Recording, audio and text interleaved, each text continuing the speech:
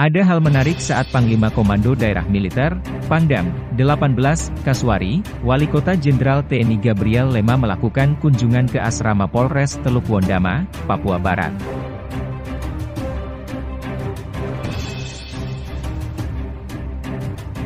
Jadi ketika memasuki asrama Polres Teluk Wondama, di hadapan prajurit TNI dan anggota Polri yang mengikuti kegiatan, Maijen TNI Gabriel Lema mengungkap kisah hidupnya ketika sebelum menjadi seorang jenderal.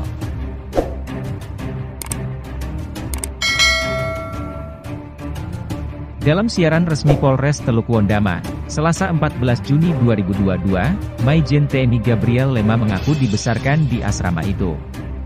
Dan dia bisa sampai sesukses sekarang ini karena peran utama ayahnya yang ternyata seorang anggota polisi.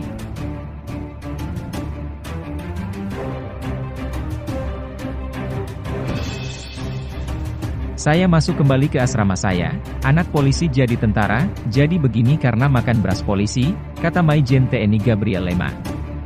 Mendengarkan dahsyatnya sang jenderal TNI itu, prajurit TNI dan anggota polisi langsung menyambut dengan tepuk tangan. Menurut Maijen TNI Gabriel Lema, dia merupakan anak bungsu dari delapan bersaudara yang dibesarkan di lingkungan asrama Polres Teluk Wondama.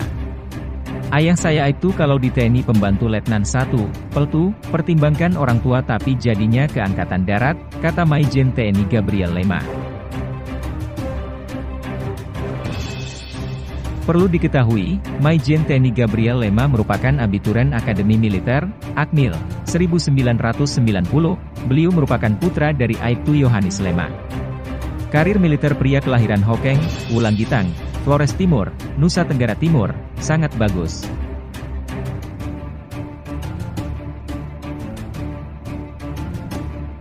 Dia pernah dipercaya saat jabatan penting di lingkungan TNI Angkatan Darat, sebelum menjabat Pangdam 13, Kaswari keempat menggantikan Letjen TNI Inyoman Cantiasa. Beliau menjabat Irkodiklat TNI Ed. Lalu sebelumnya lagi beliau menjabat Kepala Staf Komando Daerah Militer E16, Patimura.